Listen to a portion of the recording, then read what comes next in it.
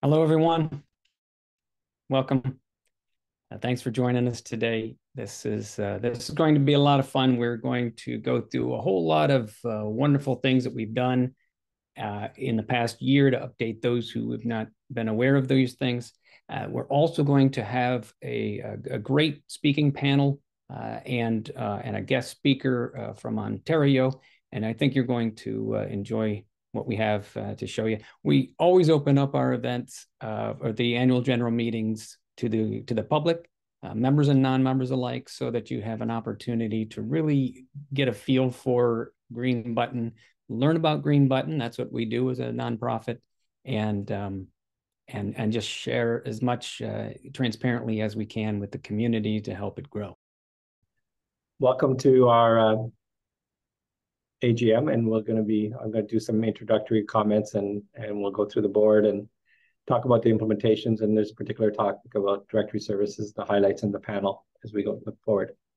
Again, I'm Sadmir. I've been the chair since I think February 2015, and uh, it's been a, quite a journey and, and ups and downs, but we're on the, on the way up and a lot of things based on what we've done in 2023. On that note, I'd like to start with just a, a, a poll, if we can do one, Jeremy, the first poll. I'd like to get the knowledge, if you don't mind voting and picking where do you see yourself as far as uh, knowledge about the green button, just a single choice, and whether you're an expert, you know, in depth, some knowledge, um, heard about it and like to learn more, no clue, and, but nothing, uh, you had nothing on your calendar to attend. So, uh, by the way, that's our sense of humor that Jeremy are going to try. I don't know how successful it will be, but uh, if you go ahead and vote, this will help us gauge, you know, where we are and what we talk about as well, and what is our better, more outreach we need to have. As J uh, Jeremy mentioned, we are open this up to non-members too, to help promote awareness and to get you in as members as well. I'm glad there's nobody that's joining just because of the calendar, which is great. And uh, actually quite impressive, 44%, like almost 88, if you're over 90, have some more in-depth knowledge of Green Button. Think that's very good. I'm it's, it's surprised. Uh, I thought there'd be more coming in learning. For the people who are here to learn, hopefully you'll find this valuable and and the opportunity we're talking about here is to share with others who know more, and that's great. Another quick one uh, survey just to see where your your role or where your where your interests come from, and why you uh, joined us today. Are you uh, and you can choose more than one whether you're a third party uh, service provider, you, you know, your utility person or vendors of utility or solar or energy market or in the property manager space or builders automation. If you can select this, this will help us again see where we can help uh, look at demonstrating the value of Green Button to the people who've joined us today, and then we can uh, make sure we have appropriate topics in the future as well. And the results are? Oh, third party providers of service, utility. That's a good mix, and the vendors to utilities. That's uh, those are good, encouraging numbers that we've got here, which is where we're going to be talking about where we see the overall growing the overall ecosystem and solar and, and energy efficient marketing programs. And property managers has been an area. All right, we got a few that are interested in homeowners wanting to learn more. Okay. This is a good view of where we are and, and uh, a good cross section uh, of the energy ecosystem. So thank you. We'll be doing some other polling as we go along, uh, but uh, just to make it more interactive, we thought we would do that. Our vision and purpose mission has been there, and we've been looking at um, you know defining a place to go, the place we want education. We've been actively working with enhancing, helping it advance the standard and compliance and even a bit more of a global adoption as well, with uh, definitely with North America, with uh, Canada and others uh, who are interested in, in, in using the standard. So we've been doing it, enhancing security, building image features as we've been doing in 2023. Next is on around over 135 certifications. That's a real major milestone for us. I mean, I think in previous years, we've barely you know, very small, and a lot of this is related to Ontario and other places that we've done, shows the amount of both download my data and connect my data uh, certifications that have been done to date. So that's a major accomplishment for us that we've been uh, we've been able to accomplish that. And then the next part is the educating the industry. And we've been participating in working groups, particularly in commissions and consumer groups and markets, and also with Ontario in the working groups. I think uh, GBA staff have been actively involved in helping uh, educate people and providing guidance on that.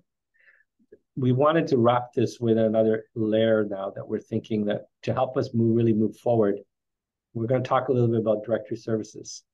And directory services is to connect, you know, third parties to, to utilities, data custodians, for customers. So we felt that this is a major piece for us to move forward with. And today you're going to get a first look at it, but it will require more participation in others to know because people want to know which which who's certified, who's not certified, but offers Green Button.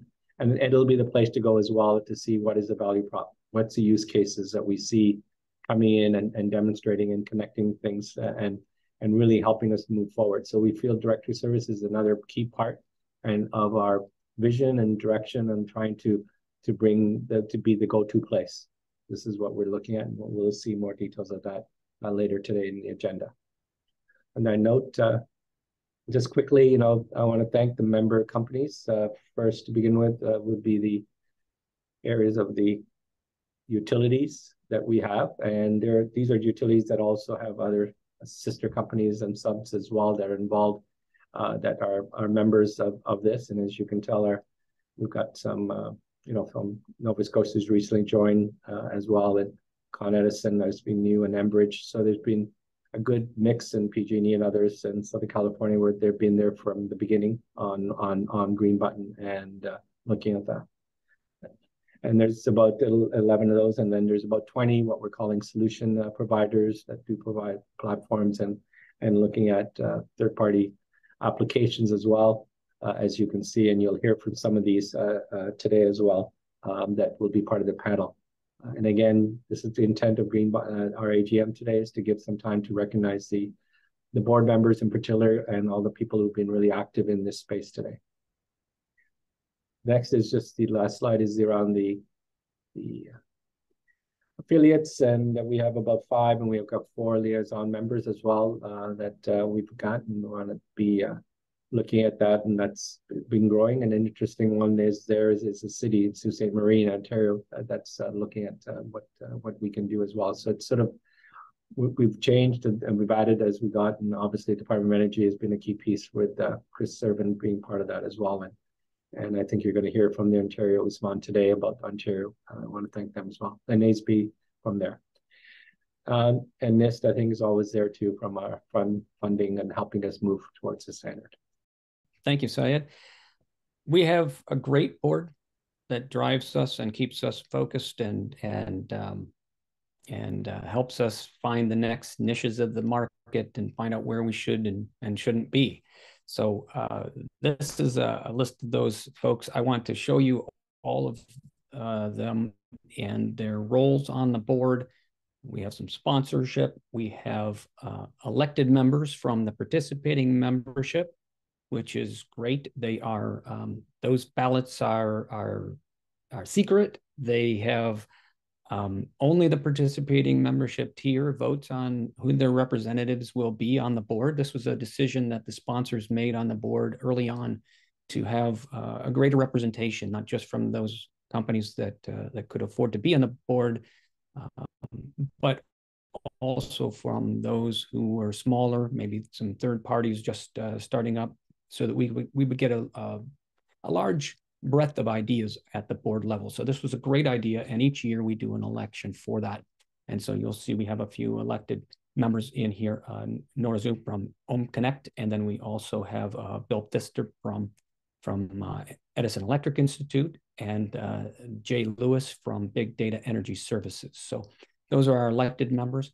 And then you'll see uh, we have, of course, Syed as the chair, as you've seen, uh, Daniel Roesler as the vice chair, Alex De La Rosa uh, serves the dual role treasurer and secretary of the alliance. And then, uh, of course, uh, is at the uh, exit as well. And then we have um, uh, some wonderful sponsors, Vinnie Liu at Con Edison, Ryan Simon, new from Enbridge, Bob Champagne at Smart Energy Water, uh, and then we have uh, Dave Woolman from NIST and Chris Irwin from the Department of Energy. I want to focus just a real quick uh, on some of these people just so that you uh, get a, a, a, more of a feel for them and how and who's driving this industry, uh, because obviously our membership knows, um, but those who are with us today that are not members, um, we'd like to share a little bit about some of these people. As uh, you'll hear from Syed through most of this meeting today, and uh, he has been our chair since 2015 and uh, driving the leadership uh, forward. It's uh, it's been great having him in that role, and so um, I'll let that stand at this because uh, you'll be hearing from him and get to hear some of his wonderful ideas as we move on. Uh, Daniel Roesler. Daniel is a key contributor. He is a third party space and is provider magical things with Green Button too. So it's always it's always great, and he's been helping us out immensely over the years. Alex De La Rosa here from NG. Uh, Alex is an invaluable contributor to the board, uh, wearing the two hats of both secretary and treasurer, and um, uh, in, in addition to his day job of uh, supply operations manager. So that gives him a voice for uh, the green advocacy within all of that. And uh, he is extremely helpful in, in doing those, those roles for us. So we really appreciate that.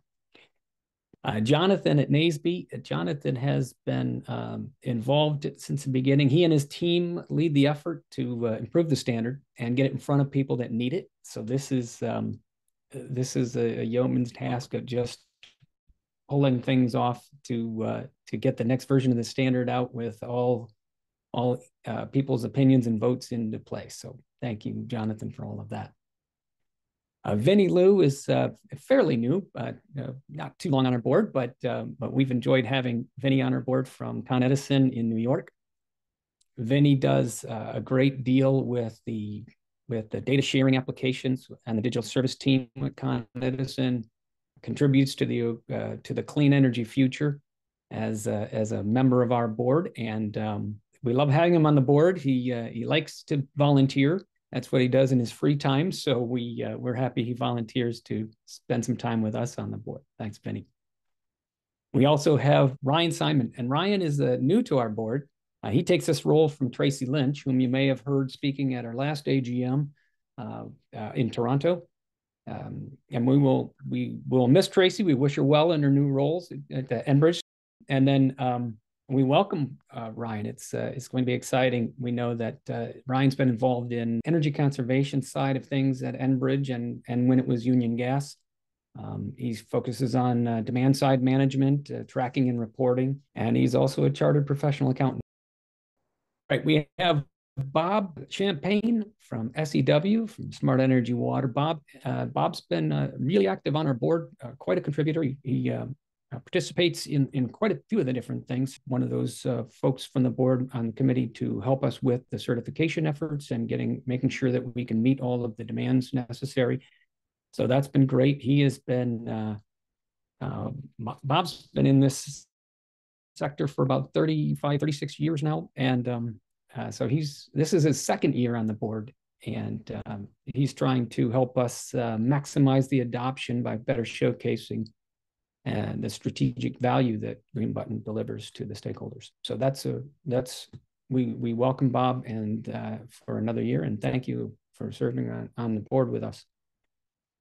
Now Nora has uh, from OhmConnect has only been with us for a year, but um, as an elected member by the peers and um, under OhmConnect, however, uh, uh, John Anderson, whom you'll hear from later during in the panel, was elected uh, to the board in the past, and John served as well as a director on that board all those times. So uh, we will miss uh, having Nora on the board, uh, but um, uh, we've enjoyed having her uh, this year. So thank you, Nora. Bill's been on the board quite a bit. He's actually reached his term limit at the end of this year, but he'll be eligible for reelection. He will be missed next year. and all I can say is thank you, Bill, for all of the all of the prods and helping us understand the needs of the utility market uh, at our board level.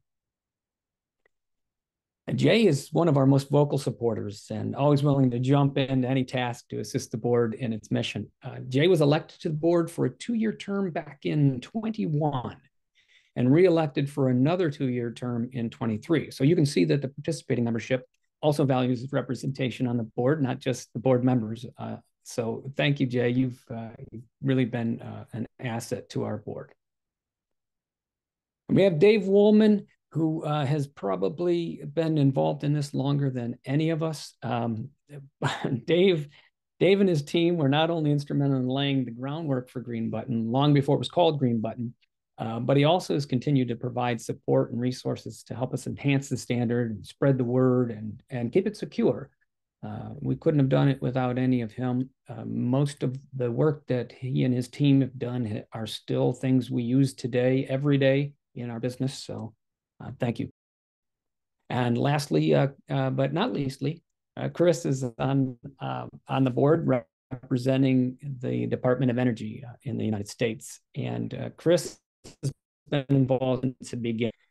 Um, he drives the effort at the Department of Energy for standards to uh, provide equity, inclusion, uh, and advancements in that energy market. So this is our board, and um, uh, and that board has served us well this year and in previous years. But as I mentioned, we always do an election, and uh, this time is no different. We had a, an election uh, for those who will replace the um, the outgoing members of our board that would be Nora and Bill. Uh, Nora completing her one-year term and Bill um, reaching uh, completing his last year uh, of eligibility uh, until 25. And so we have this election. So uh, here we go.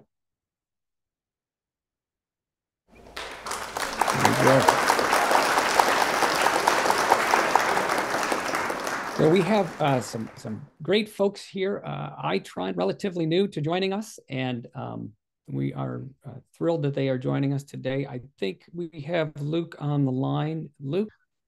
Thank you very much. Uh, Itron is thrilled to uh, rejoin the Green Button Alliance. We were on the board for uh, as a founding member uh, as part of Silver Springs, which Itron acquired. Um, but yeah, we're, we're really thrilled to be back, especially with this new generation of uh, grid intelligence and, and next generation of smart meters. We're really creating a lot more data types um, uh, than ever before, including behind the, the meter device data, transformer loading data, uh, and a lot of uh, new data that's never been available before. So we're, we're excited about making sure those data can be easily shared uh, and are aligned with the green button standards so that we can create a lot more uh, value for the whole utility industry.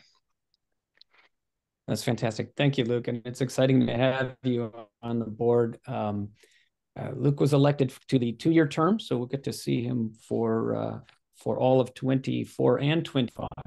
And then, of course, uh, Jeff Hendler is coming back on the board with us again. The uh, NYSERDA, uh, that's a New York thing, a NYSERDA ribbon cutting ceremony uh, for a solar to battery to EV charging project uh, with Sustainable Westchester. Uh, and um, uh, he was hoping to be able to be on the call at this point, but he's in the middle of that and will hopefully join us later to be able to to talk more about what he does. But um, uh, but Jeff is back on the board with us again, and um, we're, we're thrilled about that as well. And of course, uh, they will be joining Jay Lewis. Hello, I'm Jay Lewis, and uh, I'm CEO of Big Data Energy Services. And at BD, we're extremely proud to work with Jeremy and the Green Button Alliance. Um, here at BD, we believe that access drives innovation, and we believe that the GBA and the standard there as providing that access. Uh, I think Luke said it very well. Um, all the new data types that are coming out there and having an ability to, to, to get that data in a standardized format, uh, we believe is going to drive innovation, carbon reduction, um, just more energy efficiency that we see out there. So thank you guys for electing me and really happy to, to be a part of it. Some more. Well, thank you, Jay. We're thrilled to have you for another year. Um, this is great. Uh, four in a row. We, we can, we'll take more of that if we can get it. Um, you will reach your term limit at some point, but, uh, but there you go. But we'll take what we can get while we have you. You've been uh, you've been really great for us on the board. Um, I nobody go away. We got a next spot coming up, here. We got some uh, fun stuff to show you next here. This is something we do every year. Uh, Syed. All right, every year we give it out a Chairman's Award for recognition, and uh, this year, it's I want to announce that it's uh, Jay. And maybe Jay, if you can pop back in, so we can see your face. Into us. Wow. And Jay, I mean, he's the only guy I know who always has a smile on his face. Even when we're talking about, hey, we're having a rough time, you know, with this, with the problem with even, you know, let's say certification, you know, financial people aren't paying or whatever. We, you know, he was always taking the positive approach, uh, looking at what how we can get bigger and better. I mean, I think that seems to be his his motto. I think, uh, and uh, he's always uh, on all the calls. He's always looking at volunteering for subcommittees. For example, looking at you know certification and being a third party. How do I streamline the process? How do we help? And look in business. So he's one of these uh, GBA members who's uh, always here to try and you know not just identify the problem, but help try and fix it and move us ahead. So thank you very much, uh, Jay, for your contribution, and and uh, we'll send you this award. Uh, ideally, would have liked to do it in person, but we'll send it to you. Uh,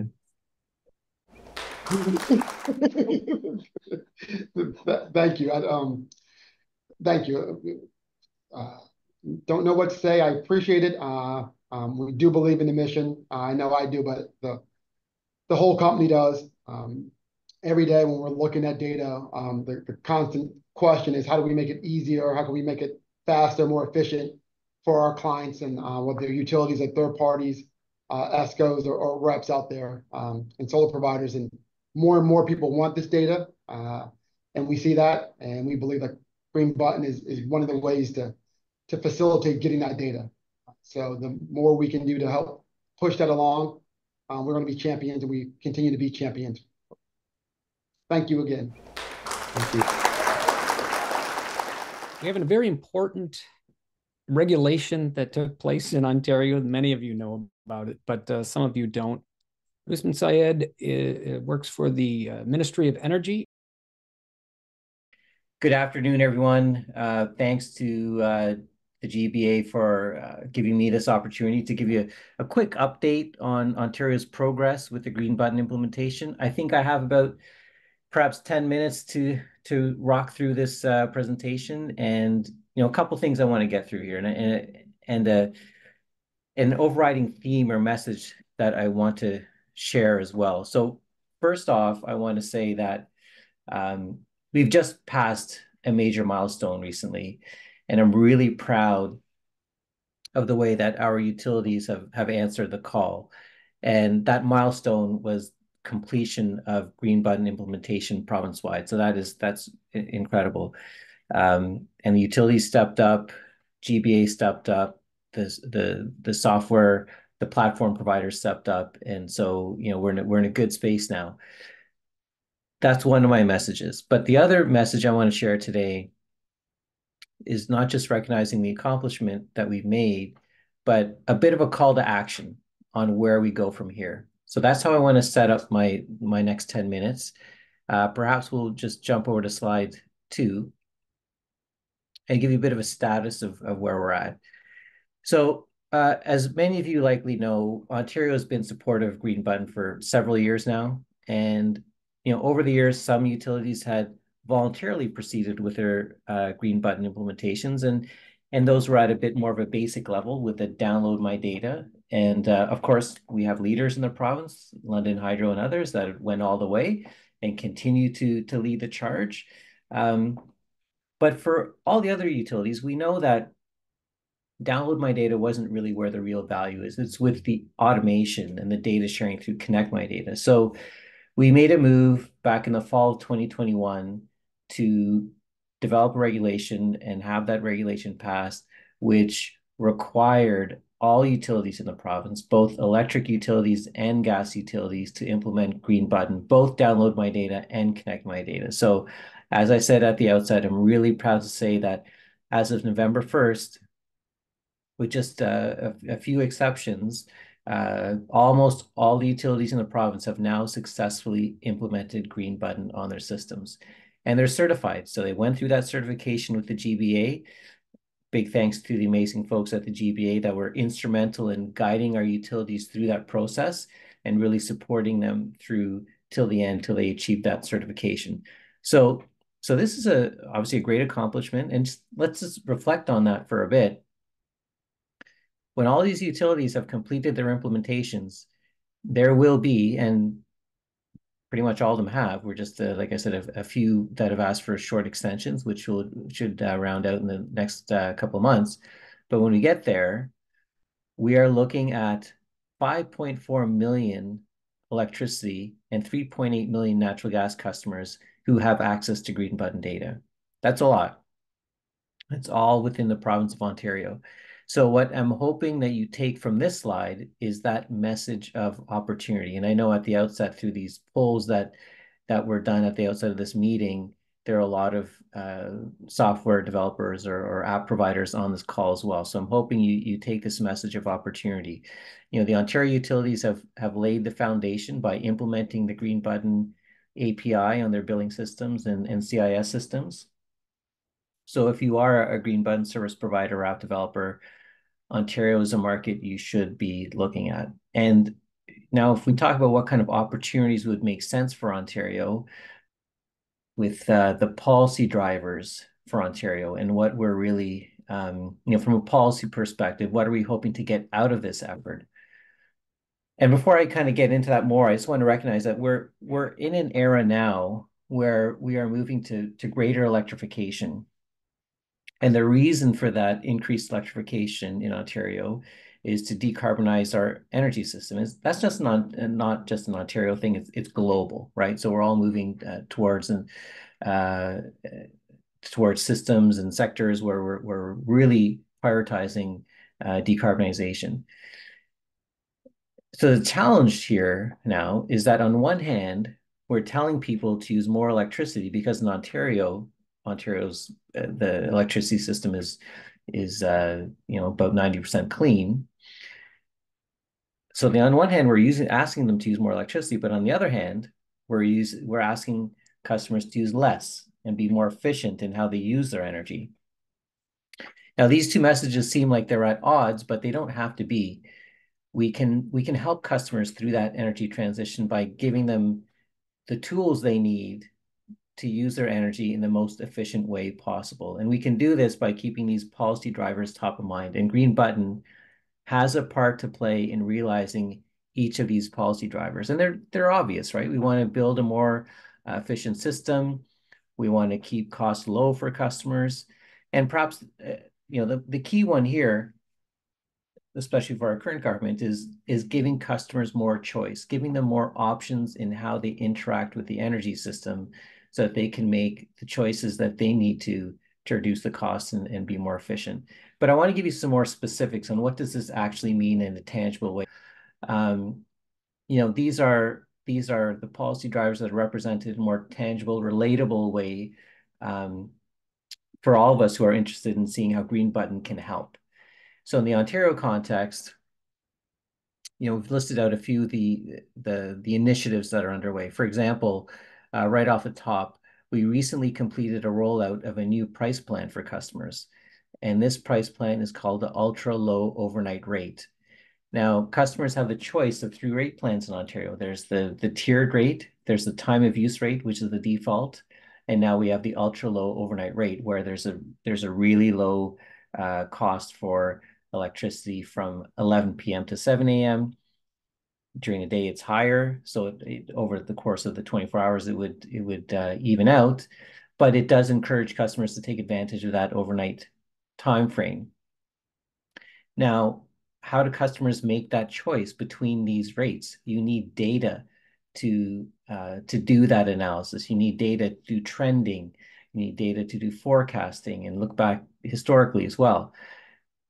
I'm i'm happy to say that utilities in Ontario, some utilities have already implemented uh, tools leveraging Green Button where customers can do that comparison and choose the rate plan that is best for their lifestyle. And so it's all driven by Green Button data. So this is incredible. This is a way that we're using uh, Green Button to, to, to address a policy uh, driver that we have in a, and through a program that we've uh, through a rate plan that we've implemented. Similarly, demand response. Um, these solutions uh, have uh, have been in Ontario for for some time now. Uh, demand response offerings have been included in um, capacity auctions, so DR aggregators can compete in the market by building um, by by bidding that capacity into the mix. More recently, our system operator, the ISO, launched a, a program called Peak Perks, which is a province-wide demand response program for residential customers. And we know that some utilities are interested in, in local solutions um, as well. So again, this creates a, an opportunity for Green Button. Demand response ag aggregators um, you know, can take advantage of Green Button data to help them analyze and reconcile the results of their uh, DR, uh, their calls. And then, you know, electric vehicles, solar installations are also growing areas where green button solutions can help the customer make better choices um, to reduce their costs and just overall lead to a more efficient grid. So at the end of the day, what I'd like to leave you with on this slide is that there are real possibilities using Green Button to support existing and future programs and policies in Ontario.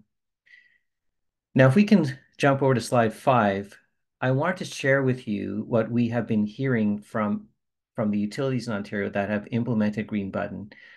Earlier this fall, we surveyed all the utilities across the province, and the reason or the driver behind the survey was really to, to understand or get a better view of what would actually be available for customers once implementations were, were completed. Um, and almost all the utilities had responded to the survey. So it was, it was a really good data set to pull trends from. And what I want to share with you is the overall sentiment of those uh, uh, of the of the responses. Generally, the feedback was really positive towards the potential and the future of Green Button. That said, there was a lot of feedback that put stock in in the hope that Green Button application developers and service providers would be reaching out to utilities and offering solutions that they could take advantage of. So utilities suggested that perhaps we do another survey, maybe six months from now, maybe a year from now, where we can we can take stock again on the status of green button applications and their availability for consumers. So, so what this means to me is that utilities are ready. They've implemented the APIs on their systems they've got some applications, but they're waiting for more, and they're um, they're waiting for solution providers to come to them with applications so they can evaluate them and consider whether they want to add them to their list of offerings for for their customers. So again, my message to you is that Ontario has laid the foundation. We've built an ecosystem, which you know has green button enabled utilities with, like I said, over five million electricity customers and almost four million natural gas customers and they're ready to begin adopting green button solutions. Obviously, I'm, I'm presenting a market opportunity for you, and I hope you take this message back to your to your organizations and consider how you might want to take advantage of this opportunity. You know, and I hope that perhaps a year from now at the next AGM, we can reevaluate again, take a look at the status of green button offerings uh, for customers, and that at that time as well, share some some real examples of of success stories. Um, so that's that's kind of where the sentiment is at and what we're we're hoping to see. Now, last slide. I think this is just a great visual of where we've been and where we're going. Um, you all know that the regulation was passed uh, November 1st, 2021. We had a two-year implementation timeframe. Um, so between 21 and 23, again, this is where the GBA stepped up. They were co-chairs. Jeremy was a co-chair of the industry-led uh, working group that worked with the utilities, the uh, platform providers to work out the kinks and, and get us to uh, November 1st, 2023, where we are um, with all the utilities, almost all the utilities having implemented. But now, where we are in 2023, heading to 2024, this is where we need the market to step up. This is where we need um, third-party solution providers to to offer their um, applications into the market and for that adoption to occur and you know customers starting to benefit from from this groundwork that we've laid. And beyond that you know you want to be able to continue supporting green button adjust our our regulations or, or the framework as as required to make sure that we're, we're uh, we provide a stable uh, and supportive environment for for green button adoption and really for customers to benefit from from data driven solutions. So um, thanks for your time. Again, I'm just leaving that message with you that we've achieved a lot. Ontario's has, has built the foundation, and now it's time for, uh, I would say, the market to kind of step in and take over and start servicing the customers with the uh, with their innovative uh, green button applications. So thank you very much for the time. Well, thank you, Usman. This has been uh, this has been enlightening, and it's great to see the the roadmap, especially. This is um, uh, we're excited to be a part of that roadmap. We're excited to help you reach those goals and uh, use use you as a model uh, for for uh, for for the things that are happening in Canada. Use you as a model for for branching out, of course, to other provinces, but to uh, to the states down below, and um, and let them see what can be done when uh, when the when the government and the private industries work together. Um, thank you very much. Appreciate it. We um, we want to highlight some of these utilities that uh, Usman has talked about. There are a ton of them here. We have uh, 55 utilities showing here on the screen, and um, uh, if you're from those utilities, you should feel proud that you were uh, able to uh, meet this goal, to be able to provide all of the services to your customers. Um, this was we we have, we commend all of you. This was a uh, a close collaboration uh, directly with some of you, and as well as with the um, with the platform providers that that you chose. Uh, the proactive input and uh, work within the working group meetings uh, that you all uh, were involved in. And um, it was great to make sure that they were all tested and certified on time by the 1st of November. Uh, this is truly an example for others. So thank you very much. We don't want to let it rest right there. As Syed already mentioned to you, we have plans for what we call directory services. And um, and this is uh, this is a pretty exciting thing that we've been wanting to do for a long time, uh, and uh, and so we have enough of, uh, of an oomph with over 135 certified implementations that we can put together uh, quite a uh, quite a service for you. I want to show you what that what that means, what that what that's all about. so essentially, we wanted to meet and exceed the expectations of several different groups. Uh, in particular, we wanted to to begin to build that third party market, that market that is necessary for for data sharing, where customers can uh, get help uh, understanding how they can meet their goals, and and what those goals might be. Of course, are um, are of course different for each customer. But the questions that the third parties who are providing applications for those customers need to ask are are manifold. Uh, but we have a couple of them here. Uh, first and foremost, which utilities are enabled for green button data in, in the US and Canada and other places? Uh, and then, of course, uh, what data do those utilities offer? Are we do they offer electricity, and natural gas, or or water information? So that's another step that, where a third party needs to know before they can offer their services. They also need to know what the market potential of the offering is. Uh, how many people will they reach? Uh, obviously, they'll know the geography by knowing where the utility serves, uh, but how many people do they serve, and uh, and uh, what's the what's the ratio of residential to commercial, and other types of uh, questions that they might have in their minds. And then, of course, uh, who are their competition? Um, competition makes everybody better, they say, right? So that's the that's the goal behind that. So the third parties need these questions answered, and we're hoping that the directory services helps provide that.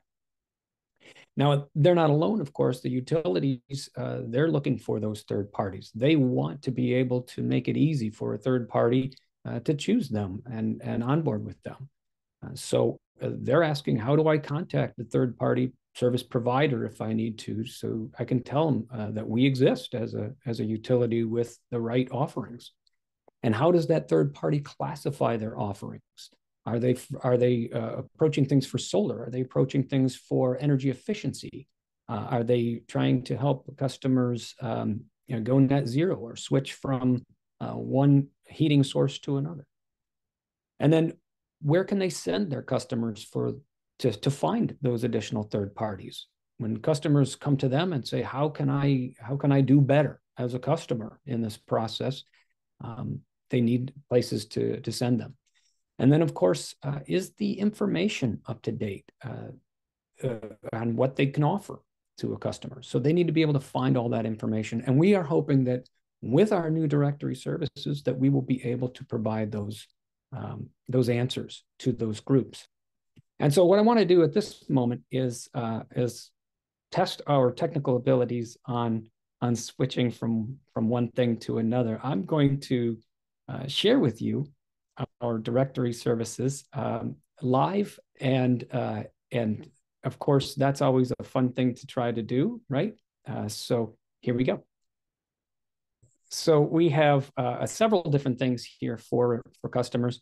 Um, we have of course those who come and visit our directory services. This will be a place on our website. So you can see right here this is just uh, a page within our website. You can't reach it yet but but after the meeting, we'll let you reach it. Uh, we don't want you playing around uh, during the rest of the meeting, but uh, we'll we'll certainly open it up uh, for you. And we're still adding utilities. We're still adding third parties, and um, and we're also adding platform providers. So I'll show you that in a moment. So we have in this directory services uh, three different categories in which we've placed things. Uh, plus, we're also looking to provide different statistics and things where you can learn more about uh, the companies and the offerings and so forth. So we have first off the, the utilities and other data custodians. We're providing the green button data. Uh, we have third-party application providers and, and providers of services. And then, of course, uh, the vendors uh, to those services, the platform providers uh, to the utilities. Uh, so that's an important piece that's also in here so that utilities can find uh, folks who might want to uh, help them implement their platforms. So the first thing I want to do is get started with showing you uh, some of the utilities and what that looks like. So I've already got some tabs open here to make this fast. But what you'll find here is a is a listing that is uh, that is also still within the same page. When you click onto it, you will find that you have a listing of of directory um, listings in the directory of uh, various utilities.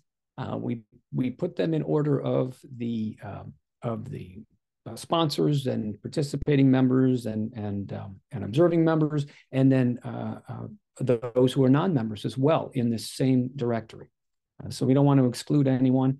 It is free for your utility to register, so you are able to come in, change it, keep it up to date, and all of that. And um, as you hover over the various um, different utility options within the um, within the page, you are able to uh, look at all sorts of information, including contact information, uh, social media information, and view a profile, which we'll do in just a moment. You can also use filters to be able to uh, further refine what you're looking for. Let's say you're only looking for electricity and you're only looking for perhaps uh, electricity providers in Ontario. So you'll be able to, um, to narrow your search to a very finite list.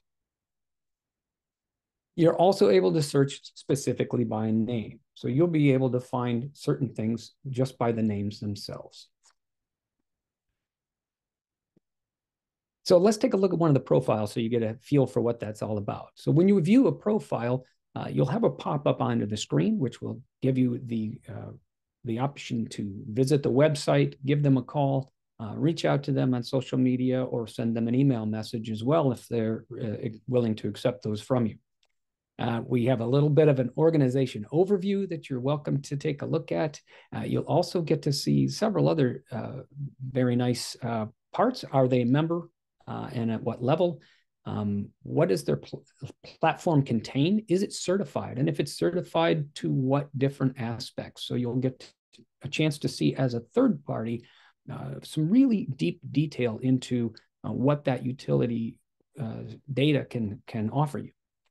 Uh, and then you'll have uh, a very nice way to quickly jump directly to their download my data page, to their connect my data page, And for third parties interested in onboarding with those utilities, you'll be able to jump directly to their onboarding page. No need to go searching for things on the various different websites. You can make your uh, you can make your landings very, very fast. All of this information, as I mentioned, is updatable by the utility themselves. They can simply uh, assign a certain number of people who have the ability to modify uh, their, their profile, and they can put that information into this record. So that's how uh, that's what it looks for the for the utility side of things. I want to also look at uh, the third parties for you. So on the third party list, some utilities provide applications, some do not. Uh, and so that information is here available in the third party listing that you'll see here on whether companies are able to provide uh, detail and so forth. And you can go through multiple pages of different, um, different folks. As we build this out, you'll be able to see more and more opportunities all the time. Uh, since since Jeff was not able to uh, to be with us uh, earlier today, I'm going to jump right into logical buildings. He's on our uh, newly elected to our website, so I'll pick on him and show you uh, a little bit of a profile here of logical buildings. Here again, it looks very familiar. You have your organizational overview, you have contact information. Uh, they don't they don't specify here, of course, uh, uh, a, um, a, DMD and CMD platform information because that's not available in the same form that it is for others. Uh, but we have uh, buttons here that will take you to their green button uh, solutions page. Uh, also directly to the Apple App Store if they provide such an app, and a Google Play Store if they provide such an app. Uh, so there are some really great ways for a, for a customer to be able to learn about the application, and there'll be more opportunity within this to be able to uh, to learn about what the apps do. So not just about the company, but about what the apps do. So there's several things we want to add as the future uh, allows, and so that will that will all be found in the third party directory. And again, third parties, just like utilities, can update this as they wish. So uh, lastly, and certainly not least, is our platform provider page, where we will be able to show uh, all of the different platform providers that have that are in our system. And again, randomized order based on on whether they're members or not. But the uh, it comes up in any order, and then you'll be able to specifically uh, look into seeing what they might offer for your for the services. So as we begin to flesh this out, we're going to be asking many people for their opinions. We're going to be looking for folks to help us reach a um, uh, uh, a, a, mass of different things, but we also want your opinions on some of the things that we should be doing. So uh, some of the things we're missing. So this is a, a new a brand new system that we're going to be launching out for you to try and use. And as the weeks and months go on, it will continue to improve. Um, we have um, we have some uh, some some great work that was done on this, and in particular, um, we were given resources by London Hydro for man, many of the uh, development efforts on this. Uh, and uh, uh, Bhavya uh, Chabra specifically, I have to uh, give a shout out to you for all of this incredible work and the turnaround speeds that you've done on this. This has been amazing. Thank you very much for all the efforts you've been putting into this. And, um, uh, and we're excited to be able to share it with everyone. So let me now switch back to, um, to showing you the, uh, the, the, what we intend to have coming up. And then you'll be able to uh, you'll be able to uh, uh, tell us what more you might want to see. So let's do that now. Here are the things we want to be able to, to do in the future. We're, we're talking about automated certification verification. This is uh, the ability for an application itself to be able to check the status of a certified implementation with a simple API call.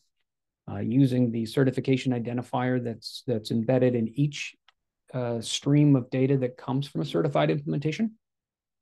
We're hoping to do some uh, multi-utility onboarding where maybe you can uh, connect your third-party solution to multiple different utilities uh, from a single spot. And then also statistics, looking at maybe adding additional things. How many customers, how many meters are, are available? What's the residential and commercial mix? Those types of things. And then hopefully uh, a federated login where you have a single customer login spot for multiple utilities. Sort of, uh, sort of like using a, um, a LinkedIn credential login to multiple different web different things. Uh, and of course, uh, user feedback as well. Uh, we're looking for uh, what you want to see in the user experience and um, and all of that. So, what would you like to see next? This is one of those things that we uh, we want to be able to provide you more information. We want this to be a useful tool.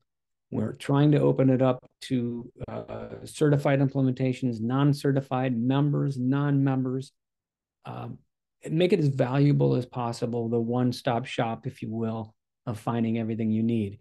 So hopefully that will give you uh, uh, give you some thoughts. Let me just do this and ask you uh, a couple questions about your feelings on on what we should be doing.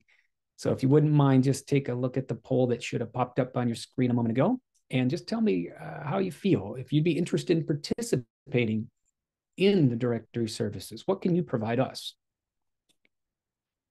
there's the result. Uh, we've got about 36% uh, on providing profile information. Uh, half of you provide uh, to, will provide feedback on the content. Uh, another 36 on the feedback and look and feel. We've got 18% helping with the enhancements. Uh, getting utilities to participate, that's 32%. Getting third parties to participate, another 32%. And spreading the word, of 45%.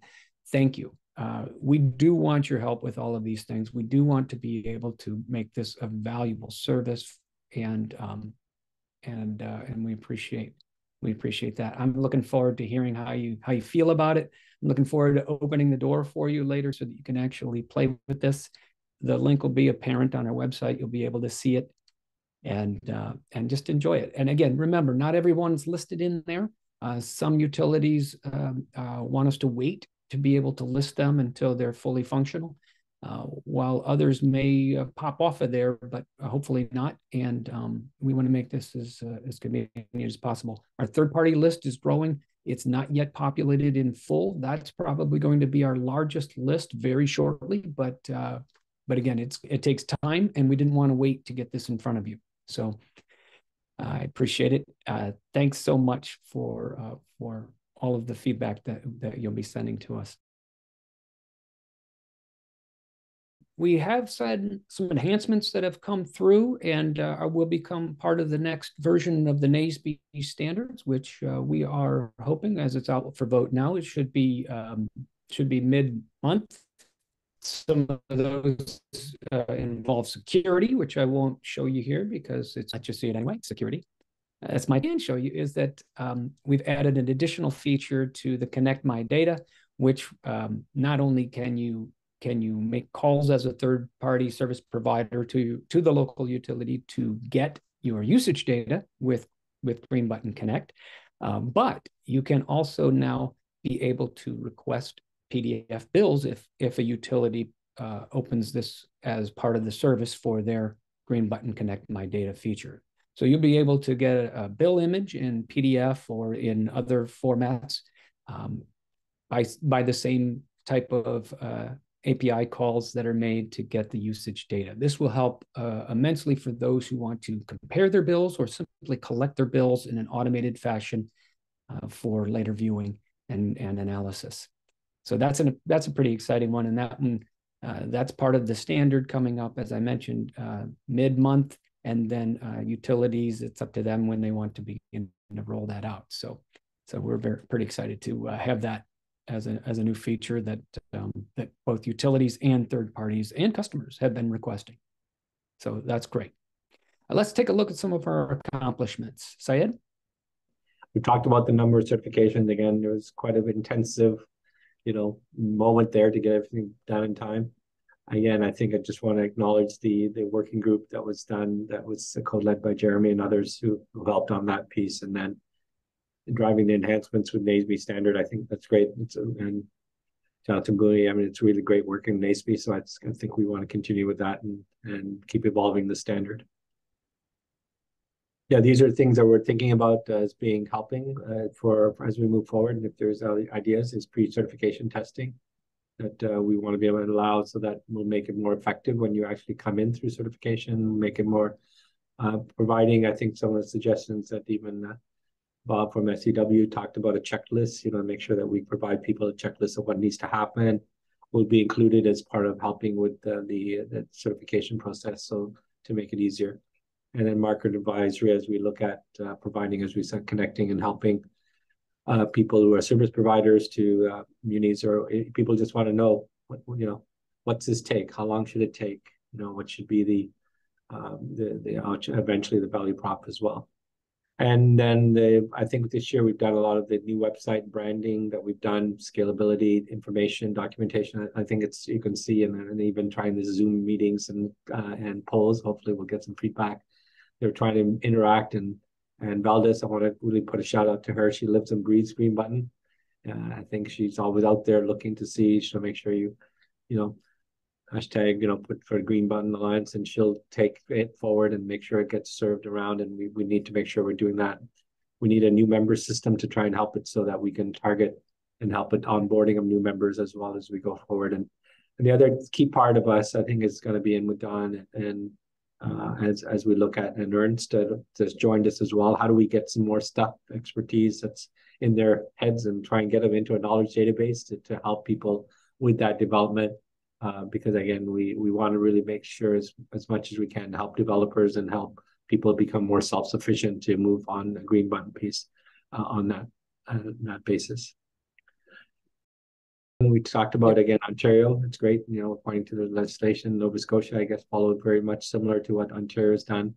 Uh, and there's some interest in other provinces, so we'll see how that's happening. And obviously, next slide is the uh, the U.S. Uh, you know uh, that we've got in here. A number of states that are looking at at things, and uh, and will continue to grow uh, as we go along. So, but again, I think we need to make sure that we're there's a lot of climate action plans out there other things, initiatives that have been pushed. And I think uh, we saw in the chat as well, I want to say, Brian Katz at the Ontario Sustainable Energy Association is something that we may want to join. We'll follow up on that action in the and even in the uh, chat to to try and see if we can work together with other associations as well in, in whatever state and, and and and province.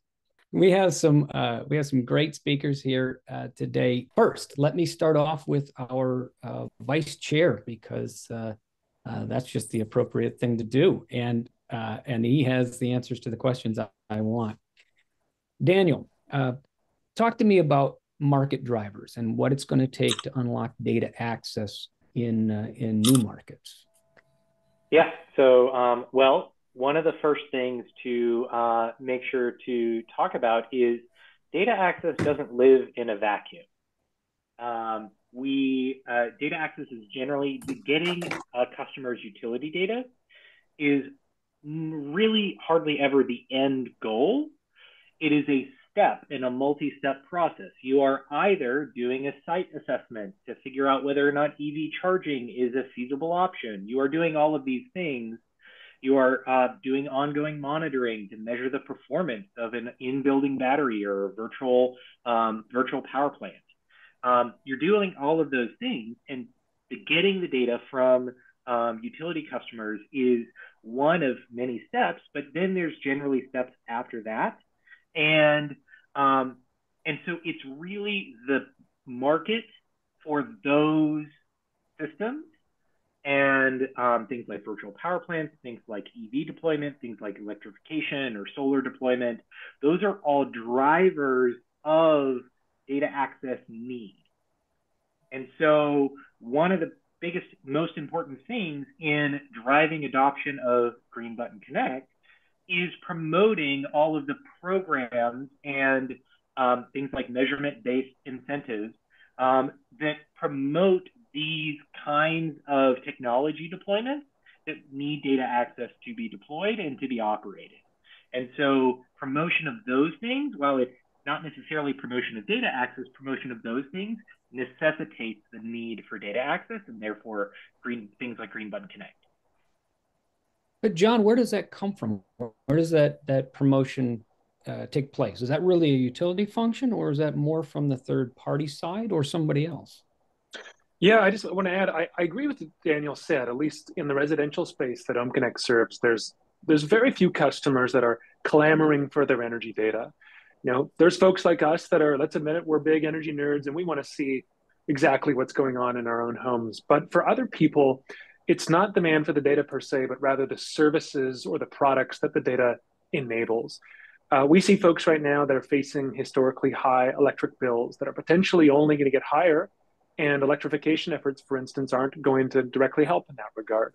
So, if OhmConnect and other businesses can structure products or services that can help people manage these costs and, and derive value from electrifying their homes, that may in large part be animated by by access to data. So, I think that demand for services and products will drive demand for uh, greater data access. The other thing that's related is among policymakers, I think a growing recognition of the contributions that DERs and VPPs can provide to both reliability and decarbonization and at low cost to boot can help uh, increase demand for, for data access. So I see Bob shaking his head. Yeah, he agrees. But Bob, which sector of the market do you see as needing more access to, to well, I, data? I actually want to come back to the the driver for a second. And by the way, Daniel, yeah. I your your your Christmas decorations make my are putting my wife's to shame. So I, I won't I won't uh, I won't talk uh, I won't talk to her about it. it looks like data is going to start popping out of your Christmas tree there. Um, but uh, but no, you know, I when I saw the que- the first question, Jeremy, I you know, you think about the the reg, you know, the one that instinctively comes to mind is regulation and policy, right? That that's the that's the most important driver. We got to push, push, push, and you know, I I've been thinking a lot about what we're seeing in the market with our clients, um, or in some of our new clients, where they've had green button for a long time. It's been sitting in the background, kind of off to the side. And and I asked myself kind of why is that? In fact, I've asked them why is that? And it it still amazes me how much distrust there is between the utilities and the third parties. That the reason the third parties want the data is to take utilities out of the equation and and that's been something that's been on my mind for for at least a couple weeks. And it, it it makes me feel that the biggest driver here is really education right? It's the education of customers. It's the education of the third parties.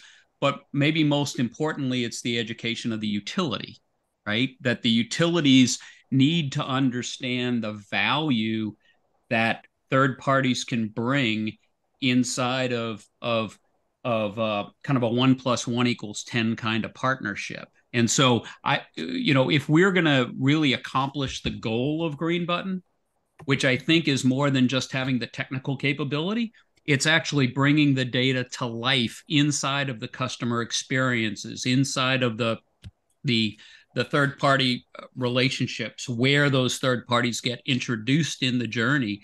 I think we've got to do a lot better job with uh, with education. Okay, I think that makes sense. So the sector of the market that would require more access is really the education sector of the market, right? It is one of those things that uh, you would, I would suspect that Daniel's being in a similar role of, of providing the services uh, on both ends of the spectrum. You would agree with that? Is it um, education? Um, Go ahead, Dan. I, I, would say yes, but it's a very targeted set of education, right? It's the people who are not really understanding the value propositions or the opportunities that are enabled by data access. One of the key things that we are finding when we go talk to folks um, about providing data access through Green Button Connect is that uh, there were they, they see the data as their source of power. When um, and so giving up that data access as a service potentially transfers the power to other folks.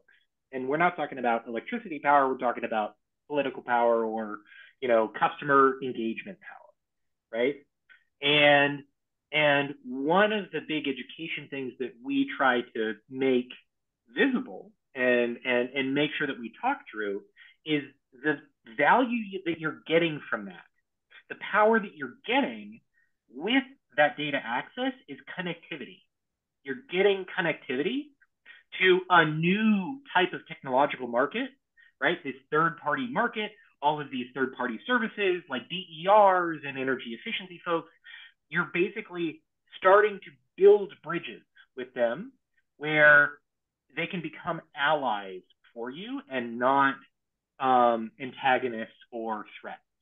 And so that's the like when times are tough, build bridges is the kind of name of the game when we when we think about this. Jeremy, maybe a good example of what what what both yeah, uh, Daniel John, and Bob are talking about is yeah, I'm thinking about some of the more advanced retail rates that are are either being introduced or, or contemplated by utilities around the country. And uh, these are rates that are on the utility book, approved by the utility regulator, and the customer will continue to pay a bill to their utility. But I think it's it's unwise and myopic to think that the utility itself will necessarily identify the the best implementation or the best set of customer facing solutions to allow customers to realize the most value on these rates. And if instead they follow the path that Bob and Daniel are talking about to allow a third party ecosystem to to help in the implementation of these advanced rates using data provided by the utility to let the third parties figure out what kind of messaging, what kind of technology, what kind of connectivity, what kind of user experience resonates uh, the most with customers and helps successfully uh, implement that rate to the benefit of all the actors involved. That's the fastest way to figure that out. And How Jeremy- do they do that though, without feeling like they have, have been uh, sort of relegated into just being a commodity as provider? I mean, is that something? Obviously, John, I know that you, you work with utilities closely, but um, you, you, know, with those who are trying to provide these these platforms to utilities like like SEW and like uh, like uh, like Daniel's company as well with with uh, UtilityAPI, how do they how do they convince uh, the utility that this is the right road to take. So I think, well, I think Dan, go ahead, Dan, please.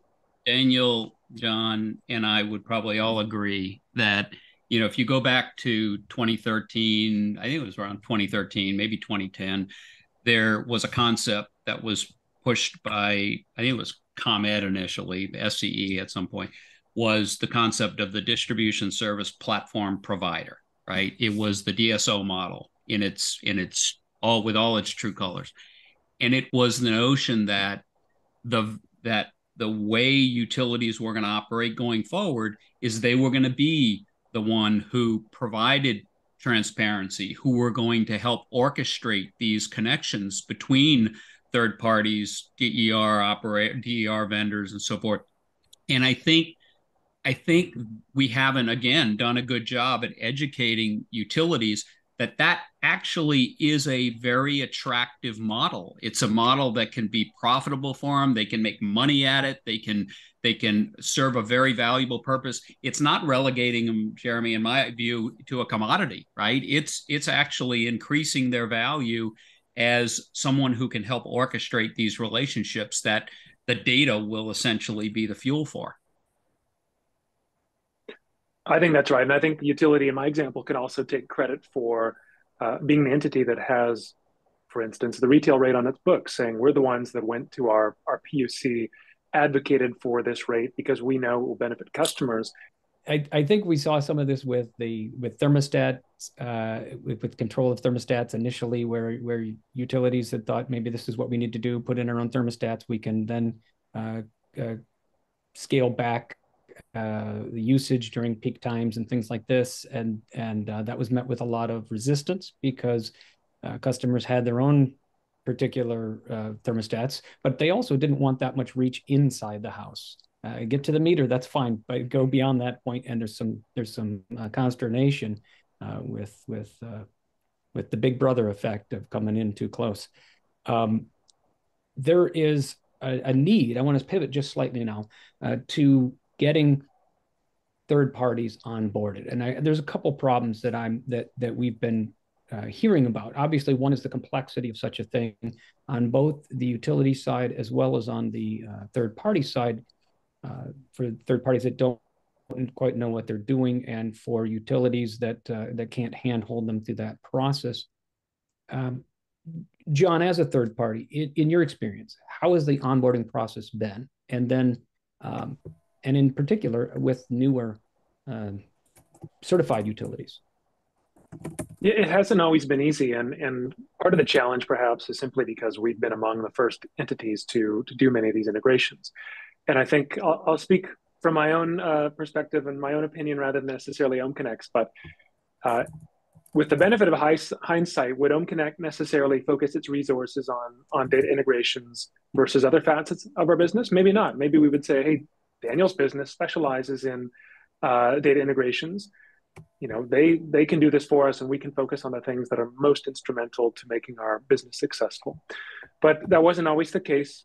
You know looking at back almost 10 years ago uh, we had to be one of the first ones through the process. I would say some of the the challenges that that stood out would be uh, the lack of a dedicated sandbox or testing environment was often a problem. Um, if we're provided with an environment in which we can iterate and we can do testing on our own side, we can very quickly figure out what works, what doesn't work, and provide that feedback to the utility. In other cases, however, we have been compelled to uh, depend upon the utility to do much of that testing for us. And so we are at the mercy of their timeline, how long it takes the utility to uh, ingest our changes, run them on their side, and provide us with feedback. That can be a very slow and frustrating process. The only other thing I'd, I'd add is um, the focus on the end user experience is, is really, really important in our judgment it's one thing to say, are you implementing a standard correctly? Are you providing us with the uh, expected data elements in the expected form? That's all obviously important. But I'd argue that doesn't really matter if, if customers aren't authorizing access to their data in the first place. So making sure that the process that customers go through is, of course, secure, but also as, as streamlined and as simple for them to understand and operationalize as possible is really key to a successful implementation. Yeah, I know a lot of this has to do with the push that we get from the outside uh, outside influences, uh, especially now with a lot of the mandates that have come through. This has really helped us a great deal in driving this. I want to ask Chris how he felt about this, about the fact that uh, mandates are coming through, and also if you see, Chris, a, a, an opportunity for us to be able to um,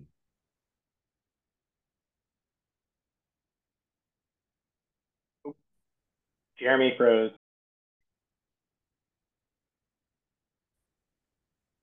You're gonna have to answer that, Chris, with uh, with a part with from just the partial question.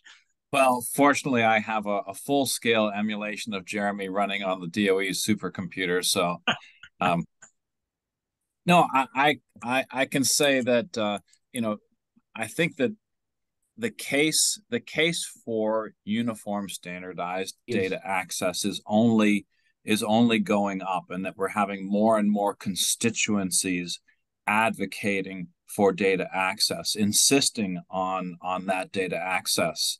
Um, so uh, you know one one case in point um, is uh, the, the loan programs office uh, run by the the very charismatic and financially savvy Jigar Shah um, has a virtual power plants uh, initiative of you know utilizing that distributed energy resource um, uh, platform to to solve some of the grid's problems and help with our growing pains that we anticipate.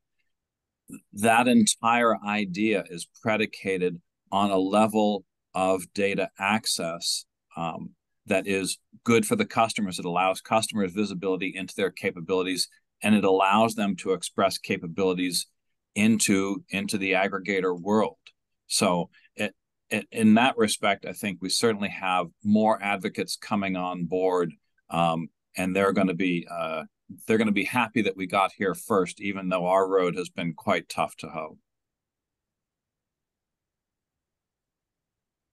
So I, I, had dropped off uh, for a moment, and uh, not by choice, because I certainly wanted to hear all of what you had to say. but um, let me uh, let me try to get in just a, a couple last uh, moments here from uh, from the crew. Is there anything that we're not approaching today that we should be approaching? And we only have uh, maybe um, one minute left, so uh, feel free to chime if you do. Otherwise, uh, we'll close. We'll, we'll get to the other parts of the uh, pre uh, of the event today. Go ahead, Daniel. Well, I actually have a question for for Chris that I'm I'm curious about since we the three of us monopolized the first several minutes of the panel. Um, in the United States, at least, there has been um, a little bit more of a trend to centralize data not at the utility, but at a regional or state level. Like, for example, the IEDR in New York, the proceeding in New Hampshire, um, some discussions at other regulatory hearings. Does that enable the types of technologies that you reference? Does that still enable that? Is it still possible through that regionalized data instead of being offered by individual utilities? I think it certainly helps, um, and and and and they also offer certain uh, certain protections um, that some some utilities may may have concerns about and things like that. So I, I it's certainly an additional layer that in these early days is is probably necessary and probably helpful. Um, but ultimately, you know, I think that if utilities are going to evolve into the role that they they probably deserve in the system, which is an an intermediary for energy and an intermediary for information, where they can be a data service and an energy service hub um, in a bidirectional manner, is that capability will have to continue to manifest at the utility interface as well. You know, and Daniel, I, I think I think just to your question, and uh, you know, Chris had intimated partially, right, or or it's going to get us part of the way there. I think I think the data hubs are a step in the evolution, right? I I still sit here and say if I'm a customer and I've got you know I've got to interact with five different data hubs to to get my data that in and of itself is a problem. So things that we're talking about in terms of directory services, you know, can, is there is there equivalent of the tra- an equivalent of the transmission operator for all these D- DSOs that's going to be able to orchestrate that that data sharing? Um, I, I think something at a higher level is going to ultimately be the tail end of that evolution. That makes great sense, Bob, and I, I, I agree. There's there's got to be some some fluidity there. Uh, everyone, thank you very much Jeremy, uh, for, uh, for this panel. Jerry, Yep. Jeremy, Did you have something to add, Syed? I think since uh, this is a good discussion, I think Chris joined. I think we can just give him ten more minutes. I think it'd be good to Sure. continue the conversation because I think other items I think I cover off quickly. I think Yeah, that's fine. Perfect then. Let's do that Okay. then. I know you've got Okay, some other great. questions or anything else and anybody else wants to ask Chris because Chris, it's been a long time. I don't know, it feels like ten years maybe, whatever. It's been a while that, uh, and so want to max out. Oh, you still got the button there. I've still got mine. Uh, so anyways, but again, just That's maybe good. Chris, what do you see? I guess uh, the successes we've had. Uh, how do we sort of get those out uh, out to to people? Because I feel like we've got some sort of things that have been doing happening, let's say in Ontario and other places, and and and in particular, let's say, how do you get that out to you know into the U.S. and others? How do you connect? How do you help connect the dots? There's a lot of people uh, participating as GBA members. How do we do that? I, mean, I feel like we're sort of uh, have a real opportunity that we can get be lots of information to share and help uh, with uh, people as they even move forward uh, down the road. Yeah, so it's like um, you know, and, so I'm going to offer and I'm going to answer in in the U.S. context, but I want to preface it with the fact is that it's like, you know, the the the success that you've had in Ontario province is exactly you know something that I had hoped would come to fruition. Whereas like you know we we had the the green button sort of initiate in the United States, but somebody took that idea, built on it, made it better, and and and it brings the ball back into our court. But I I certainly congratulate you on on on Ontario's success. Um, what you know what you're undertaking is is better than we have in the states and so it, it it gives us something to emulate on and of course you know go into the game of one-upsmanship and try to do better in our own in our own territories um, but you know, one of the things that in terms of being more persuasive, having our ideas take root faster than they have in the past, um, I think that the environment is providing us with some of those impetuses. Um, we see the data exchange requirements accelerating, for instance, at the transmission distribution interface, and we see an appetite for um, for lower level system information to be shared across at the TD interface. And so, you know, in some of these customer data access discussions, um, the customer was the was the only party that was, you know, um, really hungering for additional data or advocates for that customer. Um, but the utility was not experiencing similar pains at its level. Nobody was denying it access to information. So now we have uh, a blindness at the TD interface that more data would solve. We have a blindness at the um, vehicle grid integration interface where Tesla um, has more data on some of the system characteristics than the distribution operators do, and that charge network operators have a very rich data resource from a loyal customer base that would increase grid visibility. And so uh, I think that that puts the utility in the customer's shoes and, and hopefully is going to generate a renewed perspective on data sharing across boundaries that have traditionally been closed. Thank you. That's excellent. Uh, and and this, Chris, in order for us to accomplish some of these goals, um, I think we we have to sort of have a hybrid of some of the things that Bob was just talking about, where you need some you need a uh, hub of data. And we see some of that happening with the uh, with the IDR uh, IEDR in uh, in New York. We see that uh, New Hampshire is intending to do uh, a multi utility database type of a concept. We know that historically California was against that idea um, to be able to do some of those things, but we know that in those places where they are planning to tie in multiple utilities, they are looking at opportunities to utilize these data at the transmission level, at the at the planning levels for uh, for for substations and and so forth. Um, is there is there an emphasis from let's say from the DOE side, of course, because you have a unique perspective on this? Is there an emphasis to try to have more of that data sharing? Is there is there I know we talk that you have uh, outage uh, uh, sharing that you do. I know that there are some other issue, initiatives that you have. What are some of the things that can help drive that uh, that bulk use where we may be able to tie in this information to do so much more than what we're doing today? Well, I think um, so. Just uh, just two weeks ago, um, we had uh, a, a data and information summit on this expanded data landscape, and so we looked at um, the emerging data landscape, really trying to replicate some of the European Union initiatives on data spaces and look at that and think about it a little bit more holistically. Um, and so I think that that that definitely speaks to the the arrangement that we have here. The other thing that I see is um, we have multiple parties who want observability of some of some way, shape, or form in the system. Um, it doesn't mean that they're entitled to the full resolution data of the system of, of the original data, but they they are entitled to observability products that are built from from that data.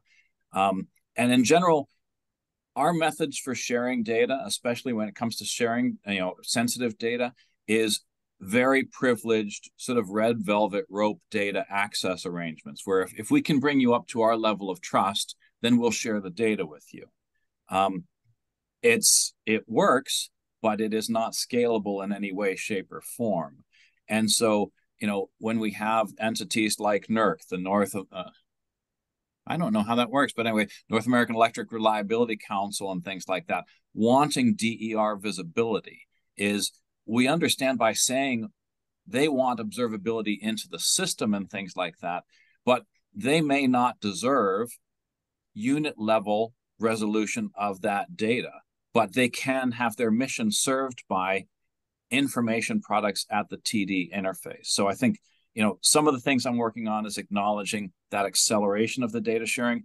The next thing that I'm working on from a research perspective is how can we provide derivative information products such that we have open access data products, privileged data products, and then highly privileged data products where we use our traditional velvet rope approach to data access.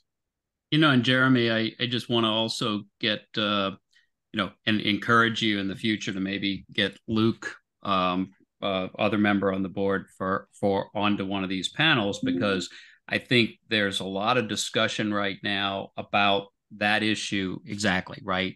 Itron, you know, co- companies that have, um, you know, that level of telemetry and and and enhanced data at very high levels of granularity certainly can be part of that. I know the and the data hub environments, there's a lot of talk now about anonymized data, right? And and data that can come across in you know where you don't have to have the kind of unit um, granularity that that Chris is referring to.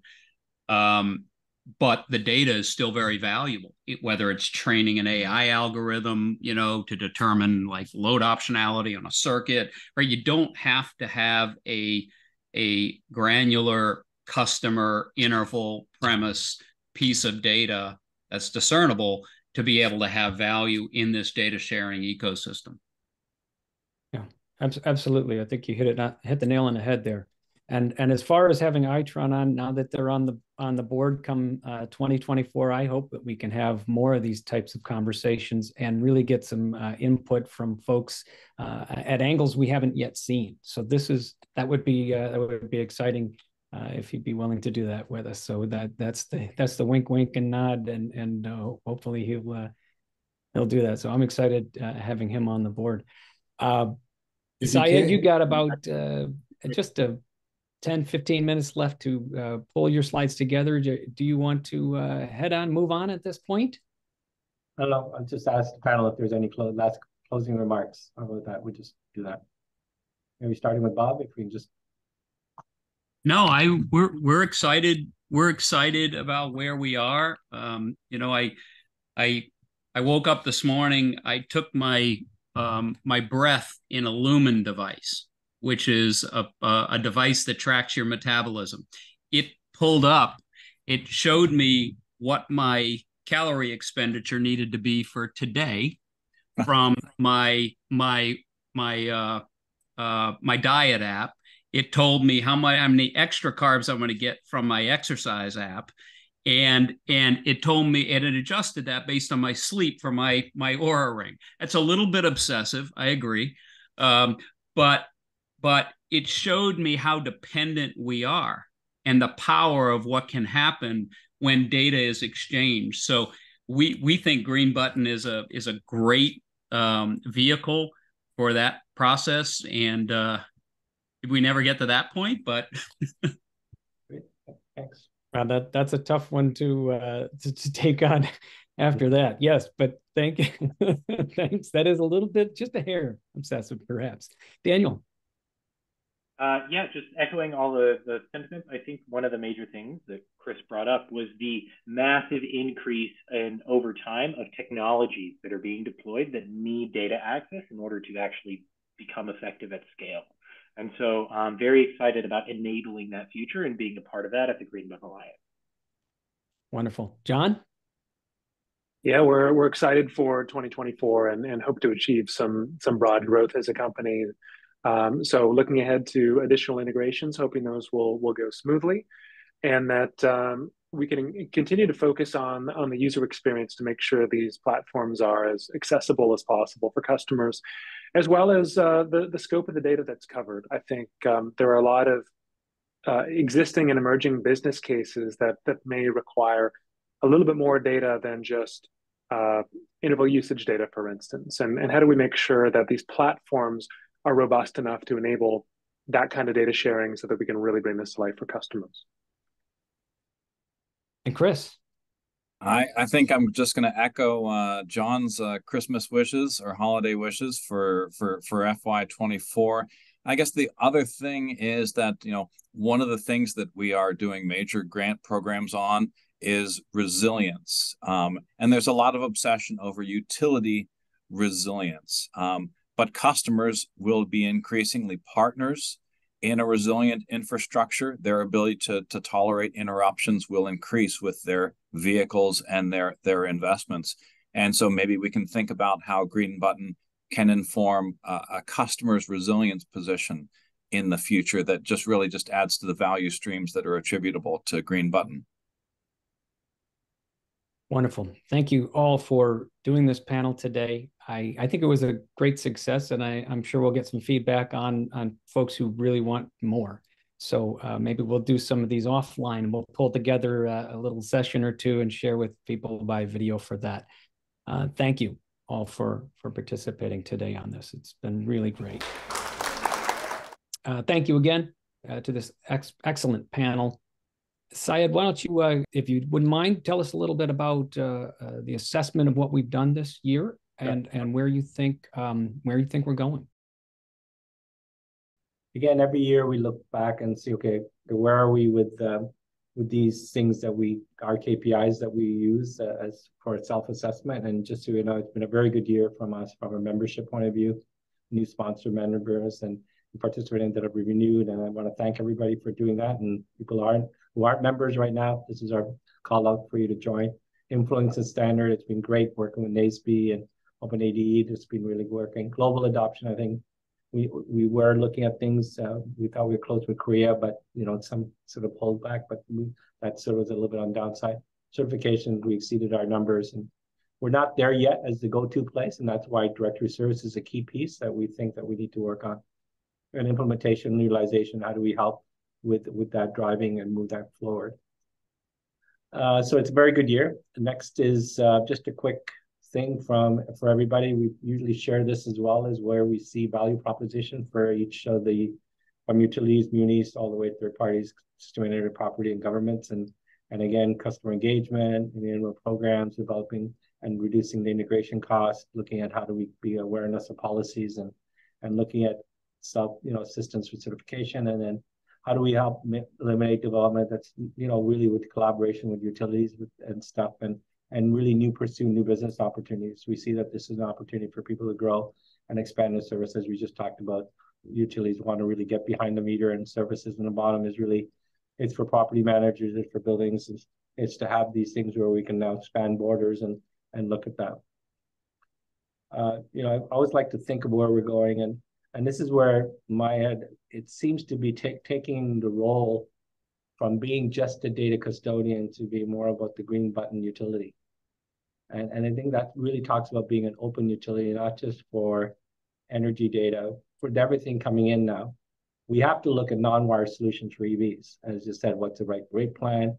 Uh, how do I know what my neighbors are doing so that I can help, you know, on my street with that transformer there? A lot of things can be wired, and it's a whole thing of involving the community aspect of that that needs to come in and break that into the fact of what we can do, looking at that smart cities.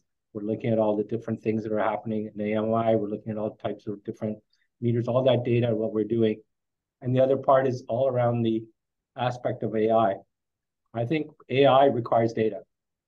I think Green Button can play a big role in making sure that, that you have it in the standard format and you can get it across utilities, across platforms, across borders where AI data sometimes can be restricted on whatever you have. But if you have green button in place, and we may want to think of how do you connect those together so that we can enable access to certain data through green button that would help your models of AI. So when you're looking at things uh, that span different areas and, and the same problem that we're looking for as, as for example of even looking at how do we look at data for even you know our low income uh, uptake how do we do that? So what problem are we solving to to help them get assistance program with the right dollar amount that we can help predict the bill before they have to go and, and get disconnected. So it's it's helping and trying to look at where we are from from an overall ESG point of view, or we're looking at things that we we need to look at.